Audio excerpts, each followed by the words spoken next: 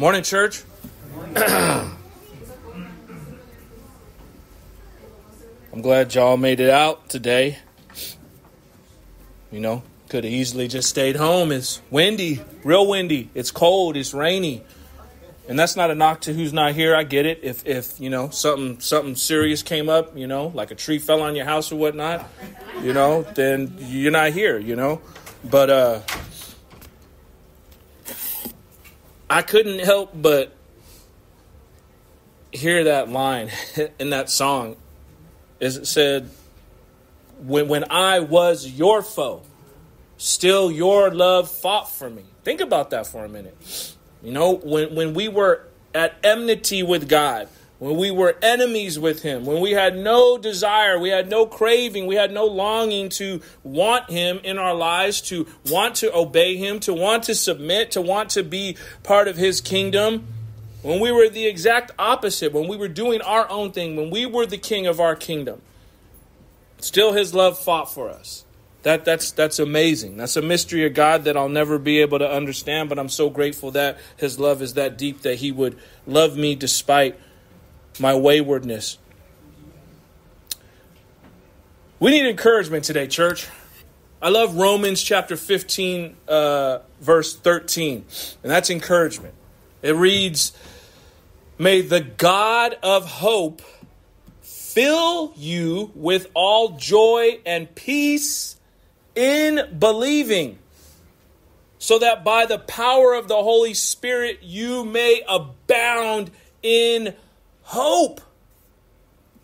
Today, what are you filled with? What are you filled with? Be honest with yourself. I pray that you're filled with, with, with, with love and joy and peace and believing. But I don't know because I'm not you. Are you filled with doubt today? Does doubt fill your mind and your heart? Doubting the circumstances, doubting the situation? Are you filled with despair because your circumstances look a certain way? Are you are you filled with anxiousness, anxious about all that's going on? Oh, taxes are coming up. I don't know what I'm going to do. Well, the good news is, church, today, right now, you can be filled instead with joy, peace, and believing in Christ Jesus. You can, by the power of the Holy Spirit imputed to you, abound in hope. That can be you today. You don't have to wait till you get to heaven to have hope. But we must be intentional. You have to be intentional. I have to be intentional with what we focus our attention and our energy on. I say this every week, and I got nothing else to say because this is biblical. If, if we're not in the Word, then we're not going to abound in hope. Because what are we filled with? You can't be filled with, with Ken Jennings and, and, and, and Jeopardy. You can't be filled with, with all the other stuff. And I'm, there's nothing wrong with Ken Jennings. There's nothing wrong with Jeopardy. It is what it is. But what I'm saying is, you cannot fill yourself. It's like food. You can't fill yourself on Krispy Kremes and wonder why you're out of shape and overweight because you don't are not diligent. There's nothing wrong with having a Krispy Kreme. Nothing wrong with having a couple Krispy Kreme donuts. But manage what you're doing. Be intentional with what you're doing. We, we do it with our bodies, right? going on keto diets and this and that and that. But when it comes to spiritual things, I think sometimes we think God's just going to shower down blessings upon blessings and he and, and we're just not going to do nothing. And that's not how it works, church. You have to put in the work. If anyone told you that you're just going to be blessed and that's it, that was a lie. that's not true biblical Christianity. Look in the Old and the New Testament. It's all there, man. People had to do stuff. That's why I love Jacob. Jacob contended for the faith. The Bible says violent men will seize the kingdom of heaven by force. What does that mean? We have to understand and have revelation of the Holy Spirit. It means he was intentional. Intentional people are going to seize the kingdom of heaven. They're going to say, I don't care if I don't want to do it. I'm going to get in the word this morning. I don't care if I don't want to do it. I'm going to get on my knees and I'm going to praise God. Eric just said, you know, we're talking about uh, CPR. I had a CPR training yesterday I had to go to, and, you know, he's talking about, you know, a while ago when he had a training, and, and the teacher said, What do you do when nothing else works and everything else fails? Nobody else said nothing. He said, Pray. You don't come to that conclusion unless you're intentional with, with, with your thinking and, and, and with what you believe. So, church, I want to encourage you today. May we look to God, the God of all creation, the God of Israel, for all hope, so that each and every day of our lives we can be filled with this hope. Amen? He who has an ear, let him hear what the Spirit has to say to the churches. Uh, this morning we will be in Ecclesiastes chapter 8. We're wrapping up this chapter today. We'll be looking at verses 14 down through 17. This message is entitled Man Cannot Know God's Ways. What a trip. Man cannot know God's ways. All right, so when you get there, if you could please stand for the reading of God's word. We got plenty of Bibles in the back. We got ESVs, we got New King James, got the, you know, scripture on the screen. If you'd like to follow along, that way you could do it. Bust out your phone. I'm not tripping. But either way, get yourself to Ecclesiastes chapter 8, verse 14 through 17 for your own benefit. And then uh, we'll go ahead and read our text this morning. I'll pray, and then we'll get into the heart of our message this morning. So, starting in verse 14, and it reads There is a vanity that takes place on earth, that there are righteous people to whom it happens according to the deeds of the wicked and there are wicked people to whom it happens according to the deeds of the righteous. I said that this also is vanity, and I commend joy for men has nothing better under the sun but to eat and drink and be joyful, for this will go well with him in his toil through the days of his life that God has given him under the sun.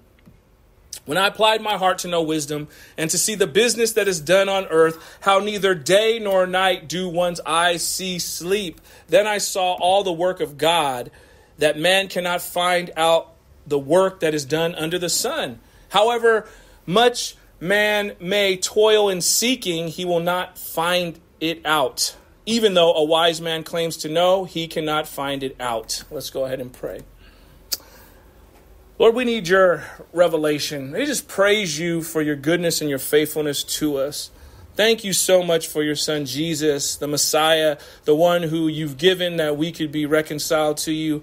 Lord, we need uh, again, revelation, wisdom. We need your anointing, your favor, so that we could understand and rightfully divide your word. Uh, unbeknownst to just the common person, this would sound like a riddle and, and they wouldn't understand it, Lord. So we, we need you, you to illumine our minds and our hearts and our spirits so that we can understand and rightfully divide this word. Show us where uh, Christ is in it. Show us where this applies to us. And may we have ears uh, to be attentive. Would you open up the eyes of our hearts, our innermost beings, that we would, uh, you know, really dig into your word this morning and get what we need to get out of it. I pray you bless your people. Thank you for drawing them to you, to your house, and may uh, you be blessed uh, in all that's done and said this morning. We thank you and love you. In Jesus Christ's name we pray. Amen. Uh, yeah, it's very true. and and, and I'll, I'll, just share this real quick. I, you know, I, I shared it with the men uh, the other day, and it might seem silly and it might seem stupid, but but I you need I need to be transparent, and um, you know, as we've been going through this book, and you know, vanity of vanities, all life is vanity, and you know, and and I'm believing, I'm understanding what the Lord is showing me, and and you know, week in week out studying and and being immersed in the Word. But somewhere along the line, I got caught up and I got sidetracked. I got sidetracked with something silly. I got sidetracked with my hair. a hairdo. A while back, I was talking about waves and, and, and, and, you know, all this and that. And there's nothing wrong with that. But it became something that was time consuming. And, and, and I made an idol out of it. And I'm over here brushing my hair and brushing my hair. And, you know, I was doing other things. But the other day, I, I just got really convicted. And the Lord was just like, you need to stop. But the cool thing about it was, even though I had to repent and even though I had to get right, I had to repent to my wife. I had to repent to my kids and ask them for forgiveness. kids didn't even know what I was talking about, but nonetheless, I had to get right with them and, and tell them I'm sorry that I wasn't I haven't been fully present. I'm over here, you know, playing with you, I'm brushing my hair.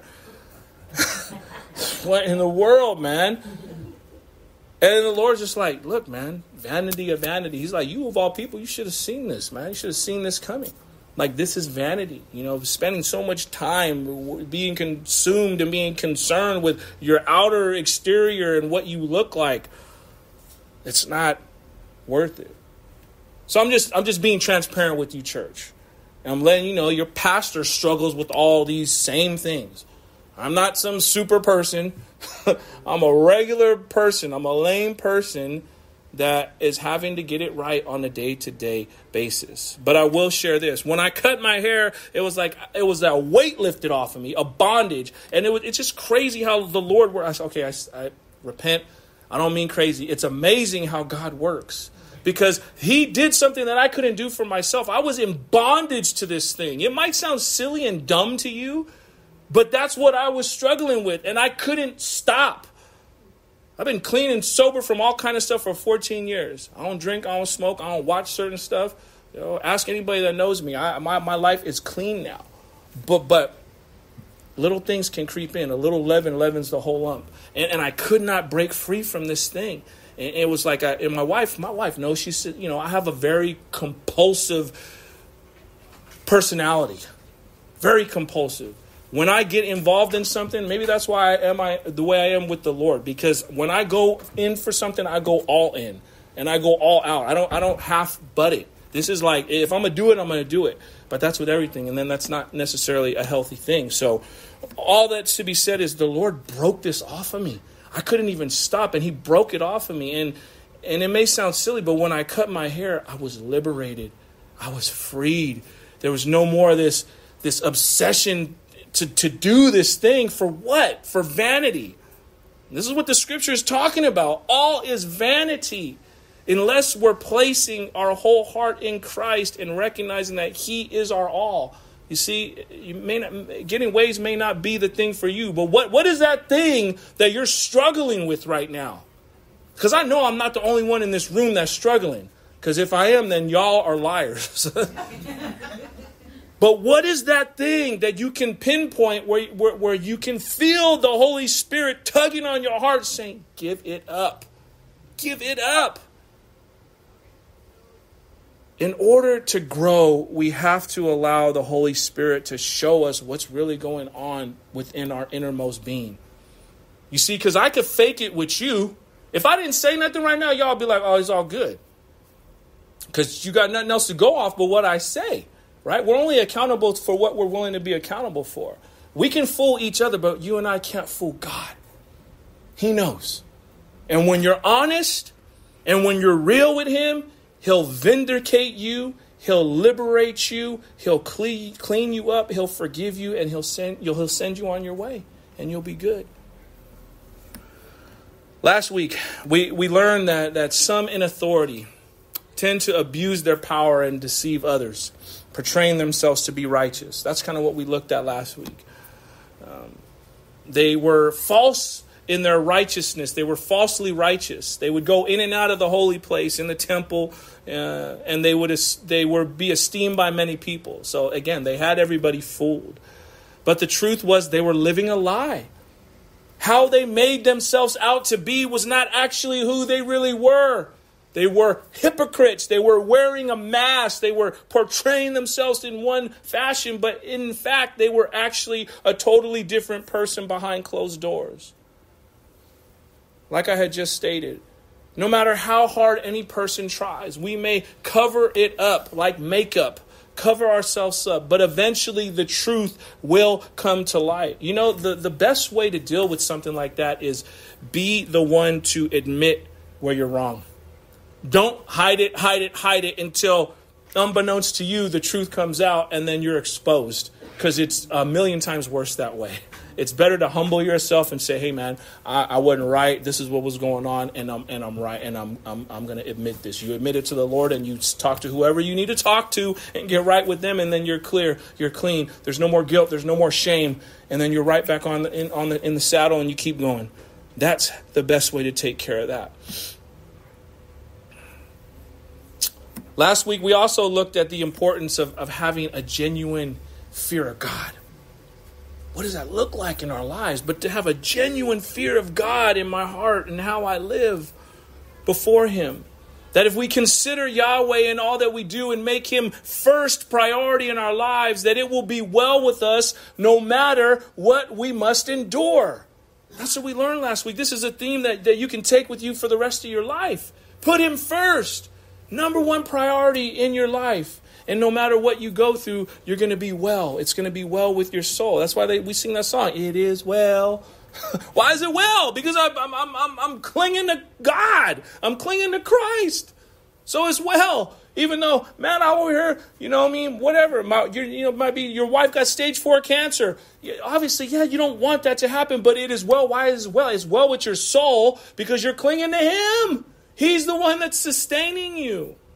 But if you don't, if you're not sustained by God, I don't know what you're doing. When the when the when the storms of life hit you, you guys drove in that in that wind today. It ain't no joke. Spiritually speaking, that's what happens. You're either in a storm, you're getting out of a storm, or you're going right back into a storm. That's the Christian life. That's why I say it's the hardest life to live because it ain't no joke and it ain't all pretty. I don't know why people try to yes, we're saved and yes, Christ and all that good stuff and I'm not I'm not denouncing none of that.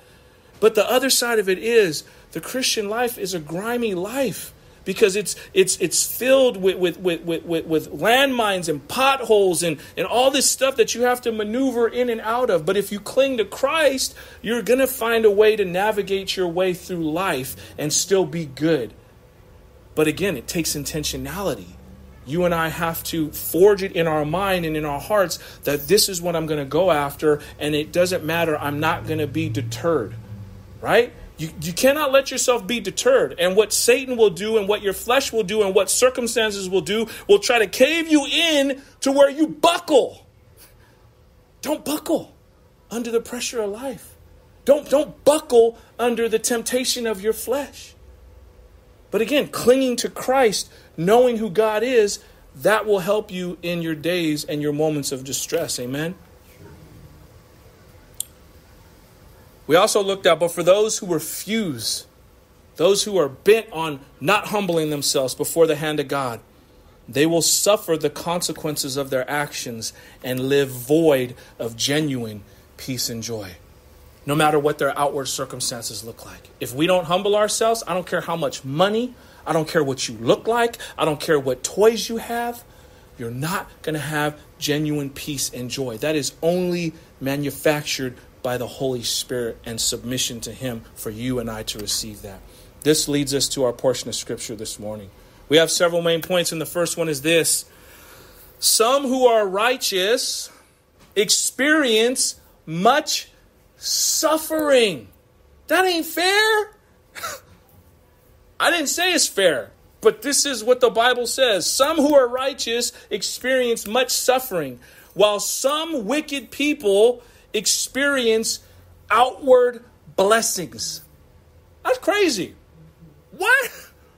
I'm trying to live for you, but I'm over here suffering, and this dude over here don't care a rip about who you are, but yet he's blessed with all this stuff or all these outward signs of blessing, privilege, and, and comfort. That's crazy.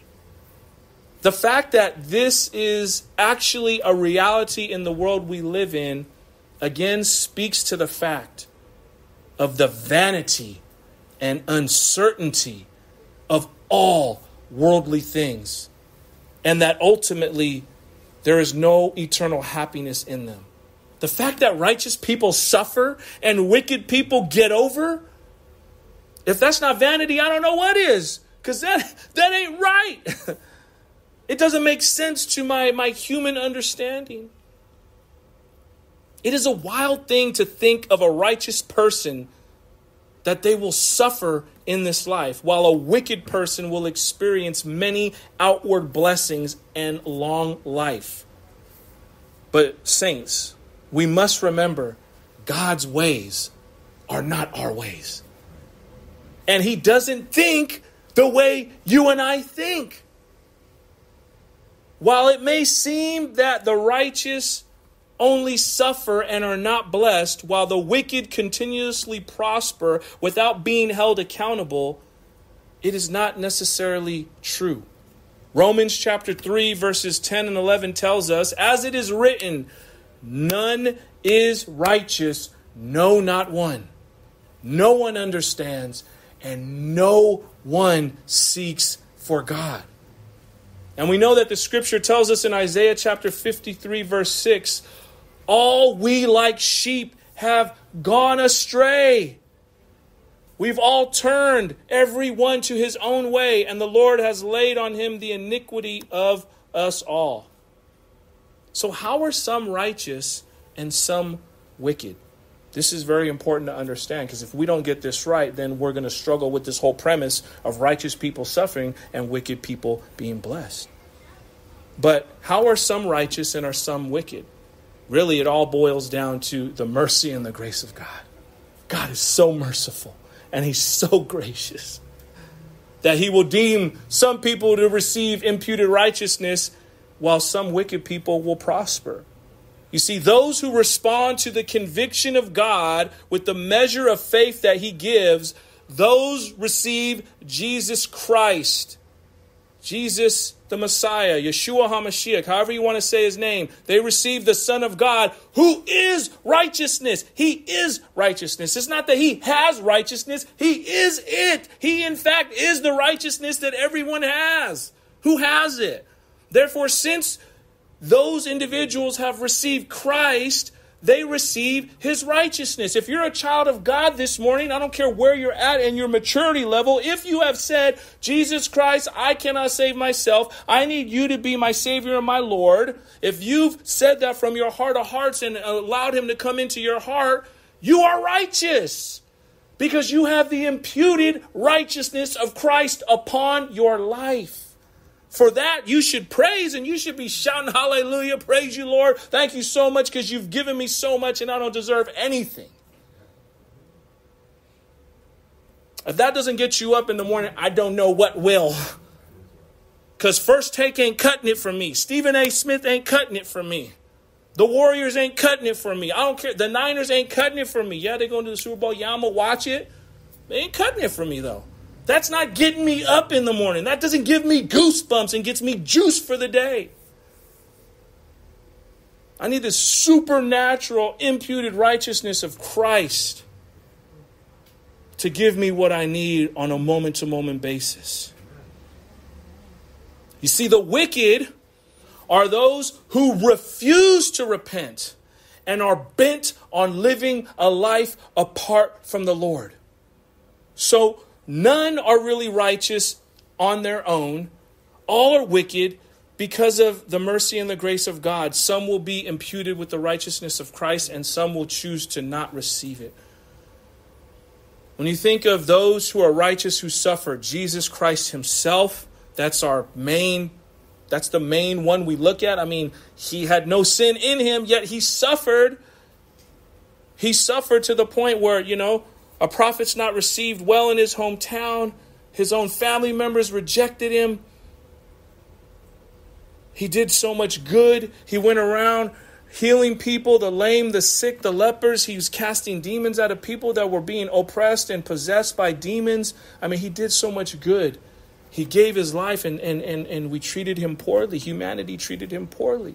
So he's the chief one that we look at as someone who's righteous, who suffers. You also look at Job, Asaph, and Lazarus, just to name a few people who, in the eyes of the Father, are righteous, and yes, they yet they suffered unfairly. But you see, in God's sovereign wisdom, He knows why He allows righteous people to sometimes suffer, while He allows wicked people to sometimes prosper outwardly. Notice I say prosper outwardly.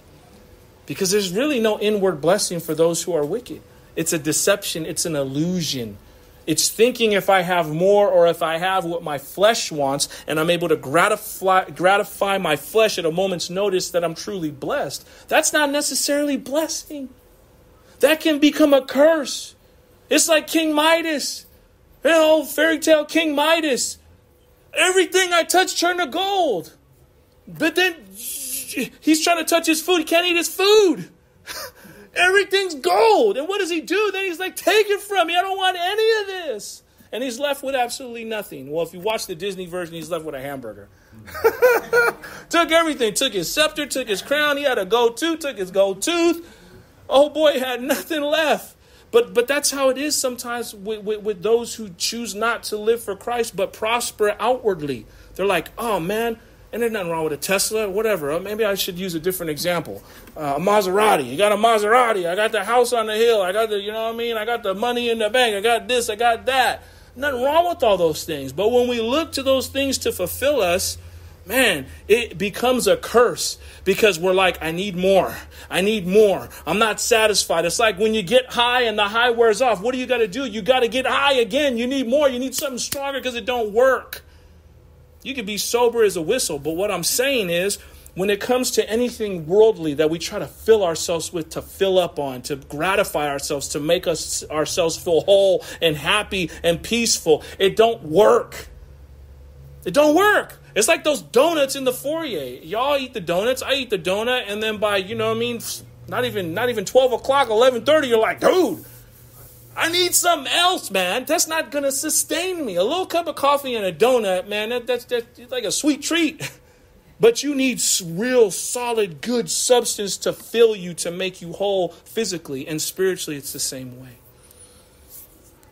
But the fact that God allows some righteous people who've been imputed with the righteousness of his son Christ to suffer and some wicked people to prosper outwardly, this is one of the mysteries and the miseries of life. It ultimately speaks to the emptiness of all things here on earth apart from God.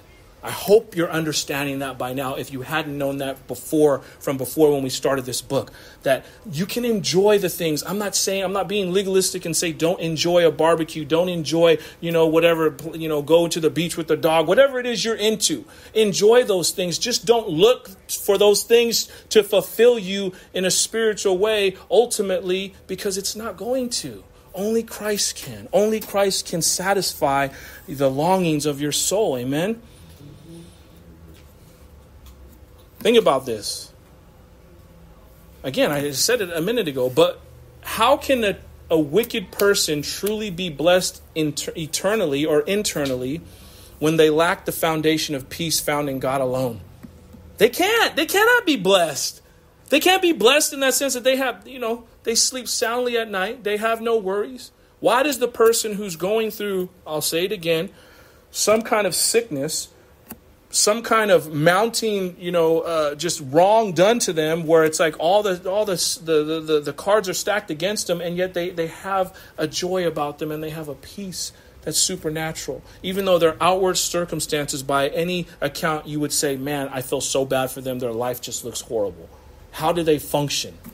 They function because it's a supernatural power that's in, in, in, giving them the ability to rise above their circumstances and not be bogged down by what you see. The Bible clearly says, walk by faith, not by sight. And many times we get it wrong. We walk by sight and not by faith. I just, I'm not going to say it again, but I just showed you my own little spew with myself. Walking by sight. It's like, what in the world you freaking think anybody else cares about that? No, the Lord's like, dude, stop. Walk by faith, not by sight. You see, the reality is the chief good and supreme happiness of a person is not to be had here on earth. It's not. The chief end of man is to glorify God, not glorify his stomach, not glorify his appetite, not glorify his, his eyes, but to glorify God. That's the chief end of man. That's why we were created.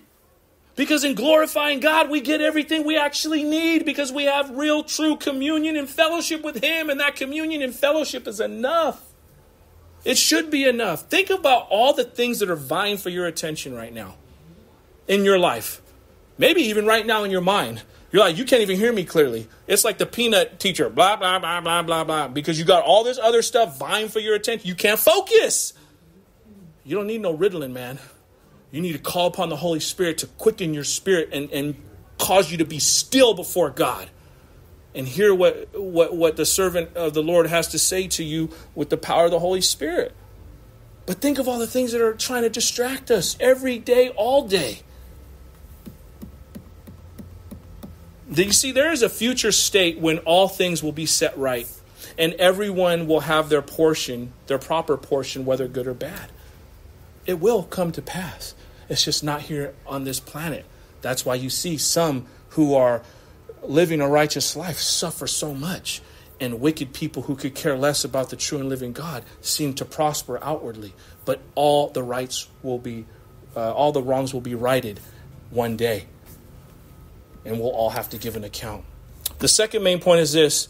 Because of ungodliness in the world, it is best to make the most of your life, to eat, to drink, and be merry, to be cheerful, to be full of joy, not to be a Eeyore, oh, because it could have been, oh, oh, it's raining, oh, it's windy, oh, I don't want to go, oh, it's, you know, it's like, dude, you Debbie Downer, man, why is it always negative? I'll be real with you, I got to fight against that every day. That's kind of my disposition in life, where I'm constantly like, I can just easily choose to complain, gripe, and be bitter about stuff. Or I could go the uphill way and say, you know what? Praise you, Lord. Thank you. Thank you that you woke me up. Thank you for the, you know, we, we are in the car leaving and, and it was funny. It was like the wind blowing all crazy. I had to pull up the car to the back of the patio because it's like just too much going on stinking wooden wooden door to the fence is swaying back and forth. and like, kill us, don't get knocked out, man. Watch what you're doing. My daughter's tripping out, you know what I mean? Everybody gets in the car. Then I, because uh, Keith and Cindy are at the beach, so, you know what I mean? We had to bring the communion tray. We had everything, we're ready to go. And Veronica's like, you got a communion tray? I said, no. I said, hold on. got to get up, go take my shoes off, run upstairs, go underneath the bed, get the communion tray, come back down. And then, uh, you know, usually I pray in the morning, you know, we're in the car, you know, everybody together, whatever. And then Veronica's like, who wants to pray today? And uh, Tirza said, I'll pray. And she's all, thank you, Lord, for the rain. Thank you, Lord, for the wind. It's so beautiful. And, that was her prayer. She was thanking the Lord for the wind and the rain. Little child, honest child, just truthful about what it is. While in my heart, I'm fighting against that, that grumbling and complaining. It reminds me of the children of Israel. It's like, dude, you got your manna every day. You still grumbling, complaining. Be grateful that you got food to put in your belly every day. Not saying, I don't like how it tastes. I'm tired of this. I wish I could go back to Egypt because they fed us better. You were slaves in Egypt. They didn't feed you better. But ain't that how we are as people? It's so easy to go that way. That, once again, that's why you and I have to be intentional. We have to purpose and we purpose. This is why it's so important to be in the word daily. Because daily if you purpose to get in the word daily you will gain momentum. And daily if you gain momentum you will break through. I think most of us, we know how to gain momentum in negative ways because we've all come from that lifestyle of we had momentum from living a lifestyle so wrong that we just broke through the wrong way into negative stuff. So now it's just a matter of shifting your paradigm, shifting your perspective, and all the attention that you would spend on doing things that were worthless and negative shifted into the Word of God and Christ Jesus. It's really that simple. Obviously, we need the Holy Spirit to help us do that, but, but in, in the sense of choosing, it is simple. We just have to choose differently. And, and over time, you will see momentum build in your life and then a hunger and a desire for Christ more and more. And it'll go from maybe you read the word not at all to maybe now you read the word 5 minutes a day to where now you've gotten to a point where it's like you you know you can't go a day without the word. Because you just ain't right. Because he's so much a part of your life. He's so consumed you. The bible says be not drunk with wine but be intoxicated with who? The holy spirit. How do we do that by inviting him into our lives, by getting in the word, by keeping him, keeping our perspective based on, Lord, I need you. Like Moses, if you don't go before me, I'm not going. Simple as that. I mean, if, if you live like that, you have the recipe for success always, every day, all day, no matter what anybody says or does to you. But do you believe that? Do you believe that in the core of your being that that's how it is? And if I live like that, I will be blessed. See, if you're praying but you don't expect, then you're wasting your time. You need to pray with an expectancy. Lord, hear me. I know that you hear me. I know you're going to bless me. I know you're going to give me what I need. Do you pray like that? Do you cry out to God like that, expecting Him to answer? I know that's from the Holy Spirit because that ain't even in my notes, man. But this is something that we need. I need it. I need to think this way. And that's why I say it becomes something that you have to actively work at. Like, like, like somebody who's getting ready for the Olympics in Paris this year. They're busting their butts, working hard to make sure that they're in the leanest shape possible, that they don't have no body fat, that they're not eating no garbage, that they're just so locked in so they can win the prize of that gold medal. That's how you have to be about your Christian life. That's why the Bible says many are called, but few are chosen. Are you one of the few today? Ask yourself that. Are you in a position, are you putting yourself in a position to go and run hard after Christ? If the answer is yes, praise God. If the answer is no, praise God, because that can change in a heartbeat, in a nanosecond. So I love the idea of, of, of, of, of tithing and the Sabbath. The Lord can do more with one day than with 364 days of you working. the Lord can do more with one dollar than $100,000 of your own. Do you believe that? The mountains will move. I mean, He created this whole thing. He's waiting for us to activate our faith and move on faith. Learn from Thomas. Don't, don't have to say, I need to see you before I move. He said, Blessed are those that, that believe in me and haven't seen Thomas. Not that he was knocking Thomas, but that's a lesson for us. That's an encouragement for us. None of us have seen, but yet we believe. How much blessed are we? How much more blessed are we? All right, I'm getting worked up over here. Let me get focus. we need to reference back a few verses to understand what Solomon meant when he said that, um, you know, this whole thing about, you know, just eat, drink, and be merry. He's not promoting a gluttonous lifestyle with no regard to restraint. He's not saying that at all, okay? What he's saying is because wicked men are honored as righteous and those who are truly righteous are treated harshly, your best bet in this fallen world is to enjoy your lot in life, eat, drink, and be merry. While it is unbiblical to live only for pleasure, living a life of joy for the Lord is certainly biblical. John chapter 15, verse 9 through 11 tells us, As the Father has loved me, so have I loved you. Abide in my love. If you keep my commandments, you will abide in my love, just as I have kept my Father's commandments and abide in his love. These things I have spoken to you that my joy may be in you and that your joy may be full. So, I mean, it just, he tells us clearly right here Man, we just we, we need we need to abide. We need to abide. What are you abiding in today? Again, please, if you're a Niner fan, please don't tell me you're abiding in the Niners. Whether they win or lose, I mean, I'm gonna watch the game and I'm probably gonna yell at the TV and you know do all that. but but I mean, I, my stake ain't that deep. It don't move me one way or another if they win or lose. But I know some people, it's like, man, the Warriors lose or the Sharks lose, and it's like, man, your whole day's missing. What? How are you that moved by some sports team? Eh, eh, eh, be moved by the right things. That's all I'm trying to say. You see, when, when, we, when we live like this, uh, abiding in Christ, right? Abiding in Him and, and having our joy full, we will enjoy our lot in life. When you abide in Christ, you will enjoy your lot in life. You will eat. You will drink. You will be merry, no matter if you got crumbs or you got shrimp and, and, and lobster. You got top ramen, you're gonna be like, man, Lord, praise you for this top ramen. I'm like, I'm in prison, man. I'm about to make me some spread, and I'm about to make this the best top ramen I've ever had because your perspective's right, because you're being filled with His joy. Despite the unjust treatment that you may receive from others, you're not going to bicker and quarrel about that kind of stuff. And if you got the lobster and steak, you're going to praise God and thank God for the lobster and steak. You know, whether you have lot or have little, you're content in Christ. Amen.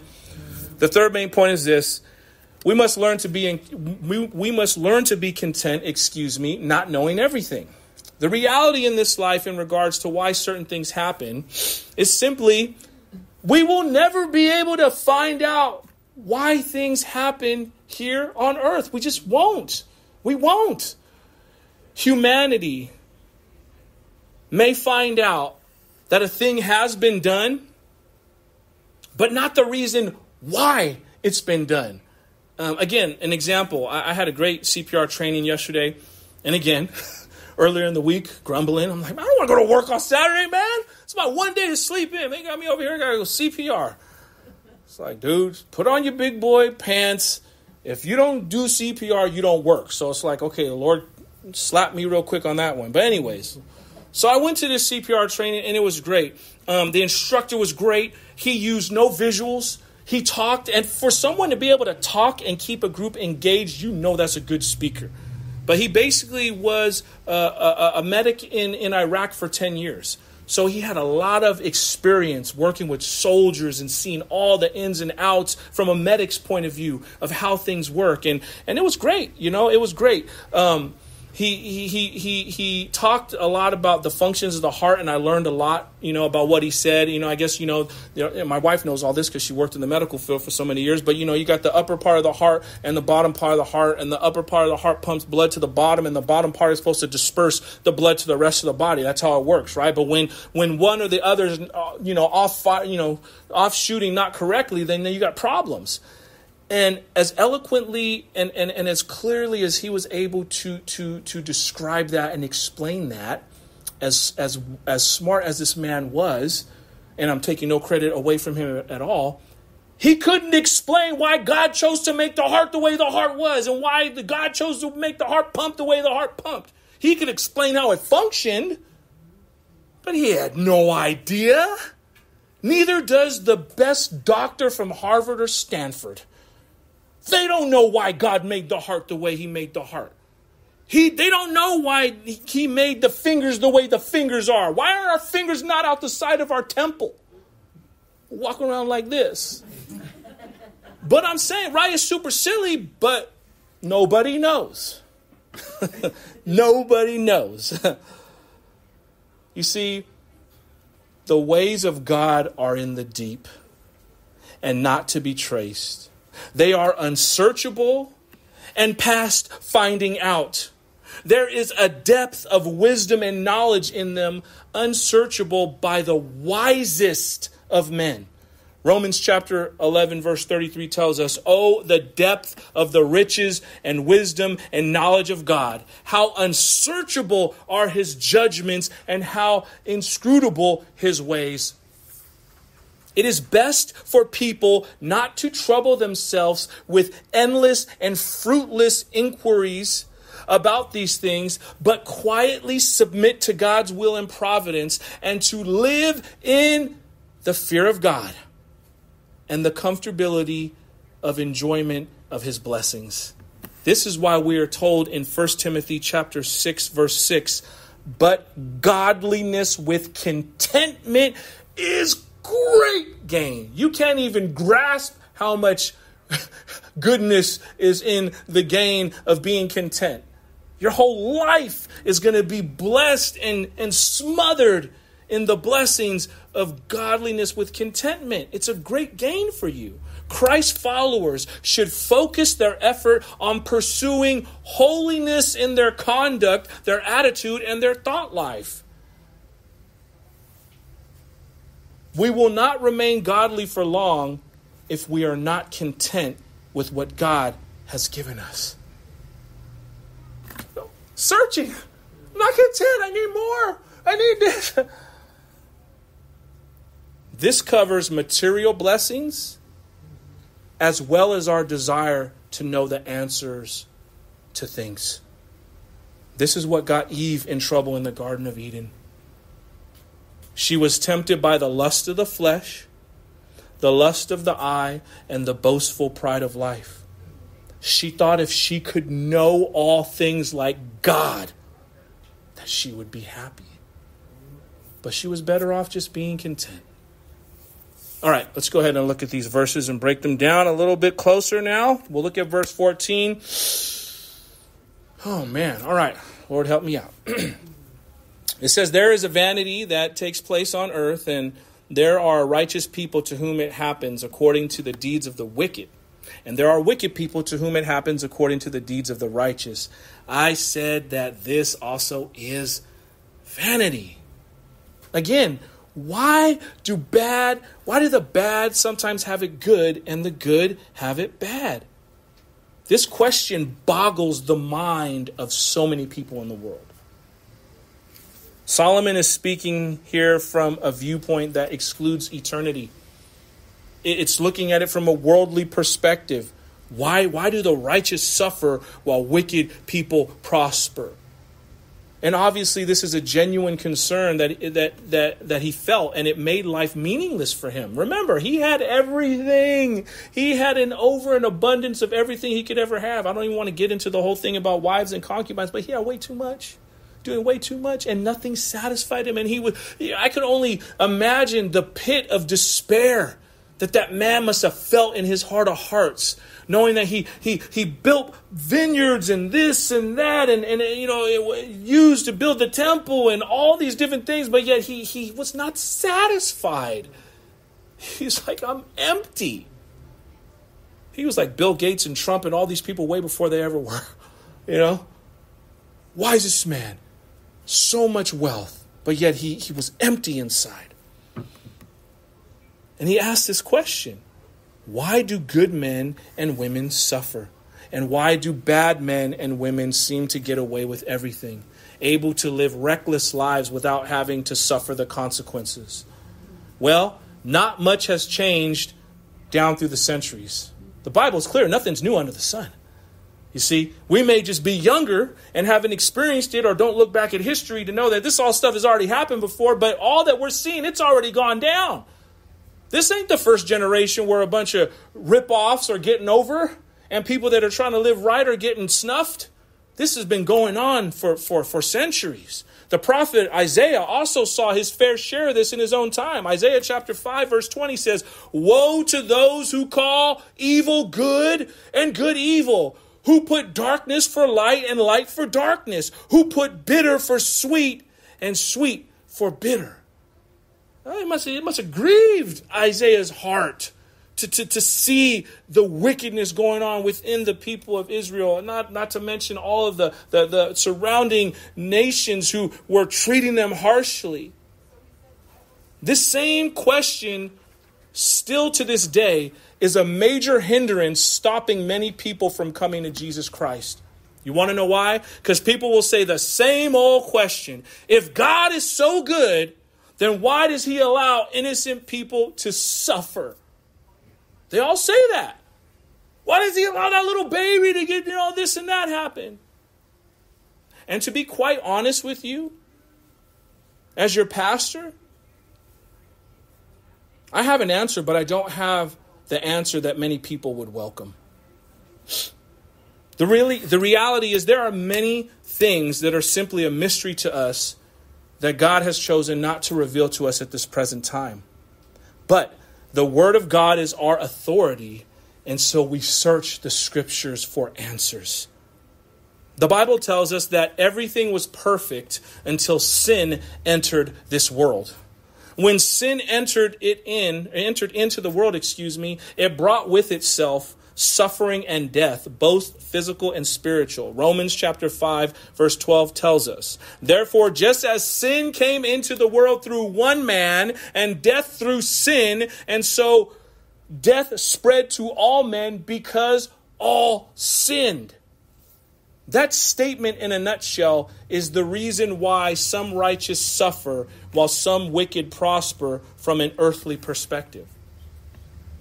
A biblical worldview says all humanity comes from the line of Adam, so we all inherit his sinful nature. Can we all agree on that?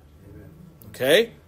For those who ask the question, if God is so good, then why does he allow the innocent to suffer unless the Lord gives them revelation to trust him, to take him at his word, and to respond to the measure of faith given to them? They will simply balk at the idea of us inheriting Adam's sinful nature. Okay? If we choose to deny the fact that we have a creator who is the God of Israel, the God of the Torah, the God of the Holy Bible, we will stumble over the fact that sometimes righteous people suffer while the wicked prosper. Are we trekking along with what's going on here? I'm, I'm trying to be sensitive about this because I know it's real. You see, when young children get abused and are hurt at a young age, for all those who work extremely hard and don't seem to ever catch a break, while those who cheat, lie, rob, murder, and defy God at the moment go unpunished, it's easy to lose hope. In our human understanding, it's not just it's just not fair and we don't understand. We can easily grow a hard heart and dismiss the claims of the word of God. But ask yourself this question first before you do. What's a better answer? That we all just evolved and we're living here by chance? That you spawned from a bunch of molecules somewhere off in space and, and, and you came from a monkey? That, that, that you're a descendant of, of apes? Is that a better is that a better answer? Is, is this a better answer that every event's random? So you have no purpose? You're you're just you're just a cadaver out here living? That you're soulless and just gratify your flesh because you might as well we don't you're gonna go into oblivion when you when you when you breathe your last? Is that a better answer? Or does the Bible clearly tell you why you were created and what you were created for? And that human suffering is simply just being at the wrong place at the wrong time. I, I, I, can't, I can't stomach that. I, I can't just live with that. There's something more. But we also need to take into account, again, that no one is righteous in and of themselves. Again, we are only deemed righteous by the imputed righteousness of Jesus Christ. Apart from him, all of us are wayward and wicked people.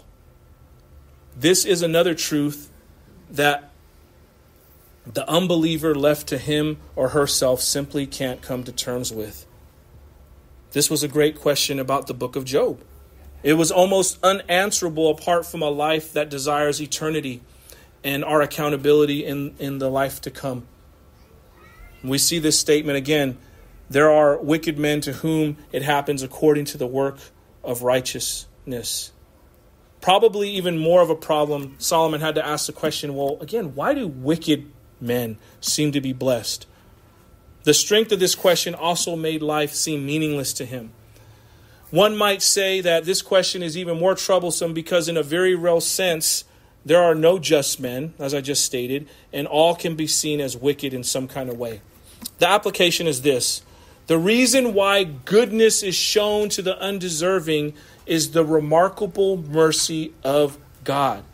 You see, both the servant of God and the sinner who refuses God wake up to the sunshine, or in our instance this morning, wake up to the wind and the rain. Wicked and righteous people both woke up this morning. Just because you're righteous, you know, don't mean nothing, and just because you're wicked didn't mean oh? Because you're wicked, you're not going to wake up. You woke up. You had life. Both are given breath and bodies to walk in. We're, we're walking, we're functioning, whether you're a righteous person or a wicked person.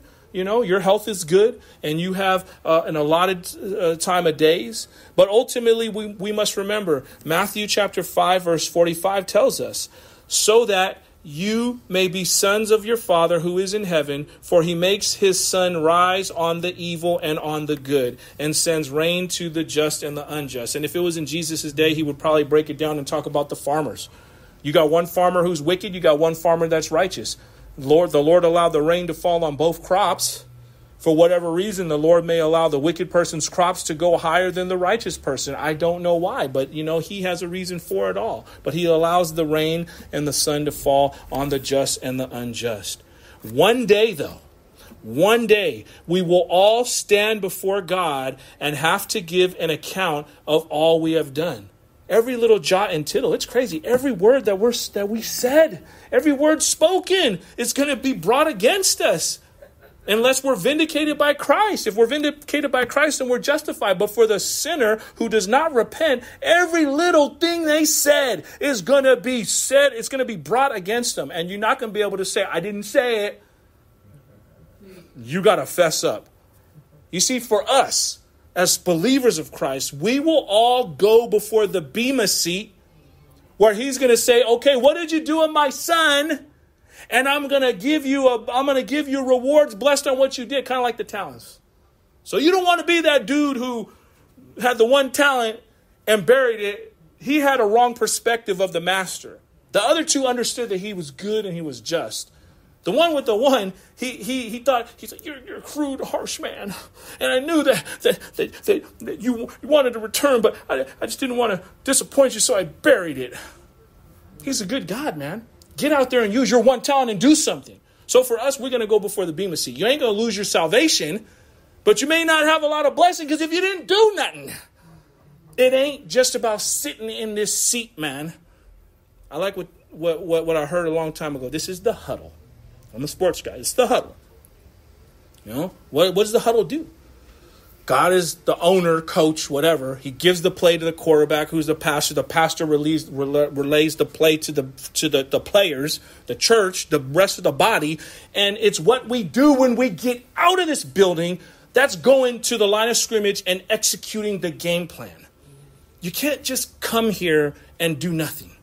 You got to come here and execute and apply everything that you hear here out into your life out there. That's how you're going to get all the rewards later when you go before the Bema seat. If you just come here and sit and don't do nothing for the other six days and wait to get fed again, uh, go back to the manna. I'm not God. I can't feed you. This is one day. This is one day for an hour, you know, hour, maybe 10, 20 minutes. This is not going to sustain you for the rest of the week. You better get up tomorrow and get your manna yourself. You have to. That's getting in the word, man. Bread of life. Living water. I mean, it's real talk. If you ain't doing that, I mean, you're going to be shriveled up, malnourished like a crackhead when it comes to spiritual matter. I'm just keeping it real, right? They're not healthy. They're not healthy. So I'm saying you don't want to be a crackhead when it comes to spiritual things. So you better feed yourself and feast and gorge yourself on the word daily. That way you could be swole, strong like Superman up in here, and ain't nothing gonna stop you when it comes to trying to deter you from the walk that you have with the Lord. But it goes back to intention, church. What are we being intentional about?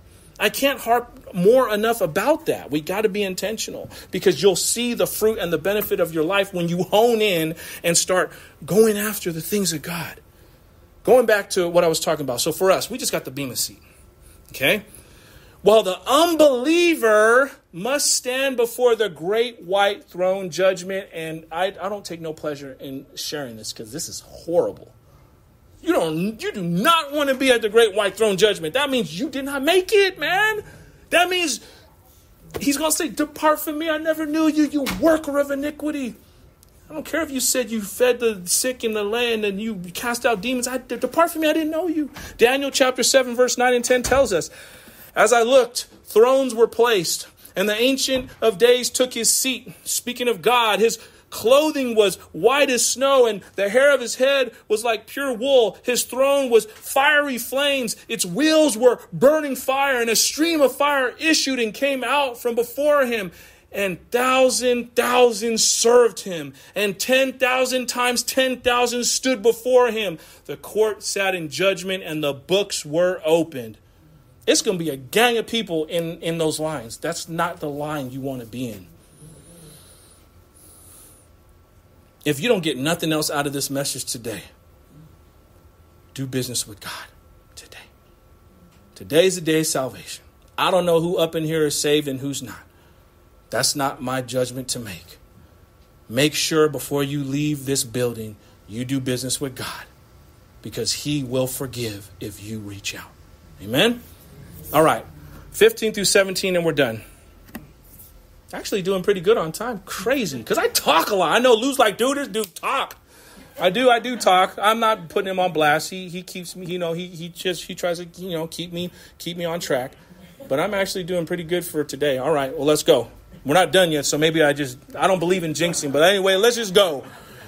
15 through 17 and i command uh, and i commend joy for man has nothing better under the sun but to eat drink and be joyful for this will go well with him in his toil through the days of his life that god has given him under the sun when i applied my heart to know wisdom and to see the business that is done on earth how neither day nor night do one's eyes see sleep. That's so sad. Then I have saw all the work of God that man cannot find out the work that is done under the sun. However much man may toil in his seeking, he will not find it out. Even though a wise man claims to know, he cannot find it out.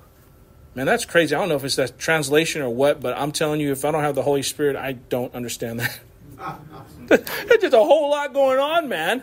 You go to King James, you're going to have the do's and nows in there. Woo.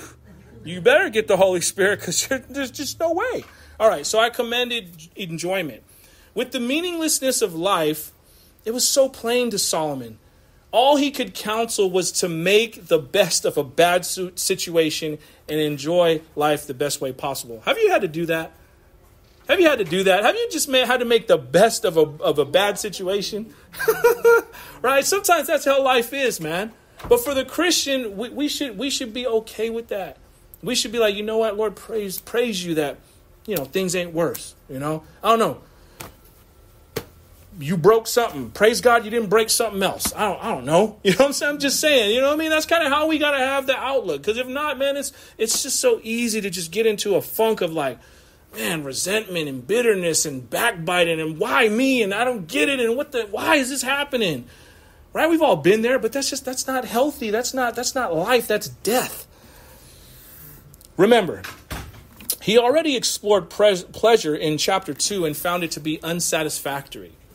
But here he uses the word commend uh, in, in Hebrew, uh, uh, shabach, S H A B A C H. I'm not sure if I'm pronouncing that correct, which, which has the root meaning of addressing in a loud tone. It can also mean pacify. The translation of pleasure in Ecclesiastes chapter 2 verse 1 suggests an enjoyable feeling or experience that cat could either have good or evil uh, evil source. With our entire earthly experience, when it's taken into account, there's nothing better for man and women than to enjoy food, drink, and be merry, to rejoice. Solomon had set out to discover if pleasure would provide meaning to life, but he found it could not. And the application is simply this the truth is that pleasure is an insufficient foundation of life. If, if had it not been, then yeah, you could live your best life now and it wouldn't matter. But in and of itself, pleasure is insufficient for you having a foundation to build your life on. But that doesn't mean that it isn't good. Solomon commended pleasure, stating that there's nothing better to do. Since life is vanity, we should embrace pleasure. To eat and drink and be merry is the best way that we're going to live in this life. But we can only, this is the caveat, this is the truth here. We can only truly enjoy these pleasures through the lens of fearing God and trusting Him by faith. Because you cannot eat, drink, and be merry truly unless you fear God and have the perspective of He is the one who's blessed you with all the things you're able to have, whether little or much. You see, if you truly fear God, pleasure will be with you in all your hard work. Pleasure will be a reward for all your hard work. Doesn't it feel good to work an honest day's job and be able to go home and eat your meal of choice and sit where you want to sit and just relax? Like, like don't take that for granted because some people they work super hard and they go home and there's no peace. They can't enjoy a meal. They can't enjoy quietness in their own home, right? And sometimes those are righteous people. Sometimes those are people that fear God and they don't have that.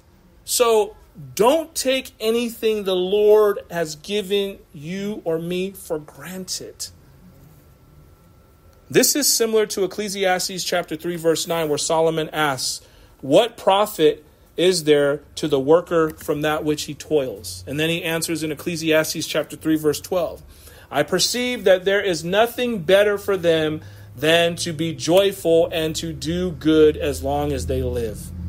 That's what we should be doing, church to enjoy your lot in life and to do good as long as you live. He's giving you breath in your lungs today. You can live good today. Don't beat yourself up about yesterday. It's done. Don't beat yourself, because that's what Satan loves to do. What did you do two weeks ago? Bruh, I'm not going to be tripping off what I did two weeks ago. His mercies are new today. Don't put that on me. I already got right with it. Now, if you haven't got right, get right, and then, you know, your yesterday can start now and keep moving. You know what I'm saying? But either way, do not let Satan put you in some kind of trap where you're just caught up in all these things you didn't do and how you did wrong. Because then that's just not healthy, man. That's not healthy. Know the Lord loves you. Know the Lord cares about you. Know the Lord has the best plan for you that you could you couldn't even come up with a good plan, and He got the best plan for you. Just surrender yourself to Him and watch it all unfold. Amen. Solomon also tells us here that pleasure is an aid to help, to provide comfort in a confusing and troublesome world. I'll go back to the fact of family. If you have a family that it loves you, embraces you, cares for you, um, you know, has a word of, of cheer and, and, and, and admonition for you, man, you better cherish that because there's so many people that just don't have that. There's turmoil, there's anger, there's bitterness, there's resentment, there's backbiting, there's pain, there's gossip. And this is what they go home to every day. So, for those of you that are in that position, you better cling tight to Christ and cling tight to your church family because that's why we're here, man. You know, I, if I could, I, I, I want to hang out with everybody outside of this building. You know, I'm trying to link up with men and this and that. You know what I mean? I'm only one person, but I mean, the thing is, we, we need to band together because iron sharpens iron. You feel what I'm saying? But we got to come together because I get it. People are hurting, people are suffering. That's this is a spiritual hospital, man. This is why we're here. This is why the Lord established the church to obviously edify us and bring honor and glory to him. But we need to utilize one another. We're the body. When one person does well, we should all rejoice. When one person's suffering and hurting, man, we all suffer and hurt. This ain't no game. So take advantage of the resources and the people around you because we're here to be a blessing. Amen. Paul said something similar to this in 1 Timothy chapter 6 verse 17. He said as for the rich of this present age charge them not to be haughty nor nor to set their hopes on the uncertainty of riches but on God who richly provides us with everything to enjoy. Um, this is similar to, again to Ecclesiastes chapter 3 verse 12. The application is this. The reality is if we don't set our hope on God, money will end up owning us instead of us owning it. But Paul also encouraged us all that God has richly supplied what we need. Life will have plenty of challenges and difficulties, but we shouldn't spend time worrying about what might go wrong. Instead, we should spend time enjoying the days that you and I have. God has given us these things freely. This is why Jesus taught us to pray in this way. Matthew chapter 6 verse 9 through 13. We were very well known in verse with this uh, this prayer. Pray like this: Our Father who is in heaven, hallowed be your name. Your name your kingdom come, your will be done on earth as it is in heaven. Give us this day our daily bread and forgive our debtors as we forgive um, forgive us our debts as we forgive our debtors. And lead us not into temptation, but deliver us from all evil. You see, the days of our lives are not meaningless, church. We are just unable to fully comprehend them all. This is why we need our daily bread, our daily portion. May the Lord be your portion today. Every single day you live, He will provide what you need every day, all the time. Amen? We are to not give up on seeking God. We must be content in not knowing everything, but instead recognize that every breath is a gift from Him and that we should honor him in all we do. Every morning that you and I wake up, we should acknowledge that he alone is our life and our portion in Christ Jesus, and that he will give us what we need.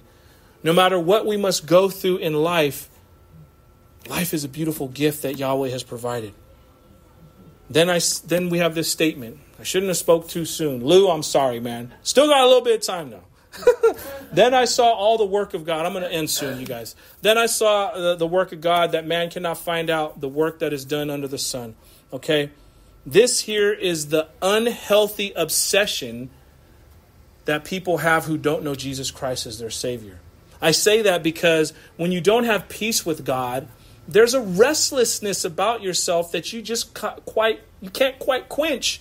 You don't know what it is, but there's a restlessness. An example: some people try to quiet this restlessness with travel. Nothing wrong with travel. Nothing at all wrong with travel. If you can afford it, please do. Go abroad. Go travel. Explore this wonderful, beautiful world that God has created.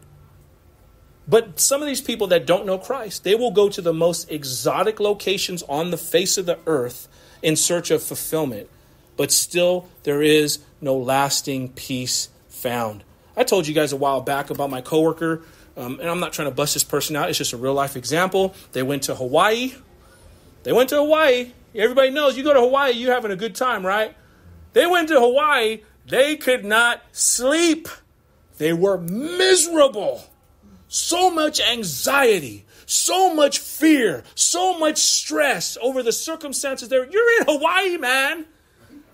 You can see your feet in the water. Go get you a poke bowl and go chill, man.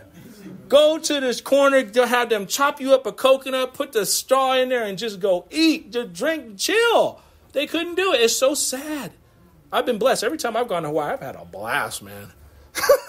I've had, I'm not trying to boast. I'm just saying I've, I've had a good time. I've been able to enjoy and I slept like a baby. slept like a baby, man. And I don't sleep. Every, people that know me, I wake up at the crack of dawn. Crazy. Others, they try to drown out restlessness by accomplishing much. Busybodies. They spend their lives accumulating many accolades and prestigious awards. Nothing wrong with that. Nothing wrong with that. Achieve your achievements. At first, it's a certain high they get from accomplishing a goal. Again, nothing wrong with that. Live a productive life. It would be bad if you were lazy. Live a productive life. But as they age with every new accomplishment they get, they begin to realize there is no lasting joy in being honored before men. Remember what Jesus said to the Pharisees I'm praying on the corner. That's all the praise you're going to get, man, from these people looking at you. You're looking in the wrong way for things. You see, here in our text, you have those who are obsessed with trying to figure out why all things happen to happen under the sun. It starts out with a genuine wonder that grows into an unhealthy obsession trying to unlock every mystery of life. The Bible is clear that there are, there, there are simply some things we cannot understand completely here on earth, and many things that Yahweh just chooses not to disclose to us. Job chapter 11, verse 7 to 8 tells us this. Can you find out the deep things of God? Can you find out the limit of the Almighty? It is higher than heaven. What can you do? Deeper than Sheol. What can you know? And I'll end with this. Um, Isaiah and Michelle can come up. There are three things that are mysteries in Christian theology the Trinity, the incarnation and the atonement. The first is this the mystery of the Trinity is how the three persons, God the Father, God the Son, and the Holy Spirit, are one in God. like, try to figure that one out. Rack your mind, man, because you'll never figure that out. The second is this the mystery of the incarnation is how the divine nature is united to human nature in the person of our Lord Jesus Christ. How does that work? Huh? You go seminary all you want. How are you going to figure that one out? Third is this the mystery of the atonement of how the holiness of God can be reconciled with unholy sinners like you and me so that we can be brought back home to God. You see, no one can understand the mysteries of God, but we can walk in faith and take God at His word. Amen? This is why you and I must live in contentment with the things of God.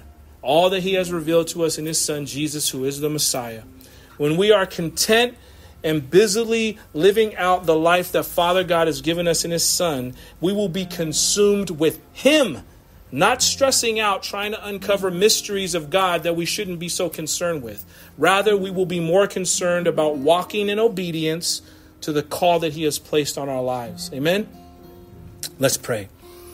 Father, we thank you for your word that is not hindered by man, is not hindered by the things of the world, but you give us absolute truth. You show us who you are. You reveal your great authority to us. You show us how much you love us with your mercy and your grace. And Father, we are so thankful that you love us so.